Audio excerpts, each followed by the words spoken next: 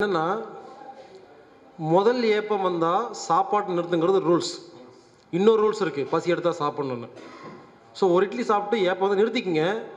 மறுபடியும் பரிசத்தை சாப்பிடுங்க. அது முடியாது இல்லையா? காலைல எட்டு மணிக்கு ஒரு இட்லி சாப்பிட்டோம் ஏப்பம் வந்துருச்சு. இதான் ரூல்ஸ் நிறுத்திக்கலாம்.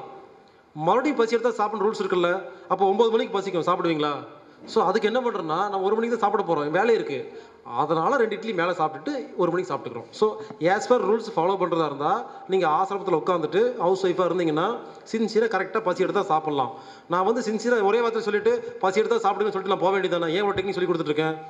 ப்ராக்டிக்கலாக ஒத்து வராது. ஸோ ப்ராக்டிக்கலாக ஒத்து வரப்போ வேறு வழி இல்லை. ஸோ ஏப்போ வந்ததுக்கப்புறம் சாப்பிட்டு தான் ஆக வேண்டிய நிலைமை இருக்குது ஏன்னா அவ்வளோ வேலை இருக்குது நமக்கு. உடனே அடுத்த நேரம் சாப்பிட முடியாது. அதனால் ஏப்போ வந்ததுக்கப்புறமும் சாப்பிடுங்க. நீங்களும் டிசைன் பண்ணுங்கள் நீங்கள் அடுத்த நேரம் பசிக்கு சாப்பிட்ற அளவுக்கு இப்போ தாங்கிக்கங்க. அந்த மாதிரி சாப்பிடுங்க. அது ஒரு நாள் ரெண்டு நாள் கொஞ்சம் கஷ்டமாக இருக்கும். போக போக பழகிரும். உங்கள் பசி எடுக்கிற நேரமும் சாப்பிட்ற நேரம் ஒன்றா இருக்கிற மாதிரி நீங்களே மாற்றிக்கலாம் உணவு கொஞ்சம் மாற்றி மாற்றி பார்த்தீங்கன்னா ஒரு நாள் கண்டுபிடிச்சிருவீங்க. ஈஸியாக இருக்கும். அந்த டெக்னிக் உண்மை தான் எல்லோரும் ஃபாலோ பண்ண முடியாது. அதனால் ஏப்பம் வந்தால் நிறுத்தணுங்கிறது தான் டெக்னிக்கு ஆனால் மறுபடியும் பசி எடுத்தால் சாப்பிட்ணும். இதுக்கு ஓகேன்னா ஏப்பத்தை நிறுத்திக்கலாம்.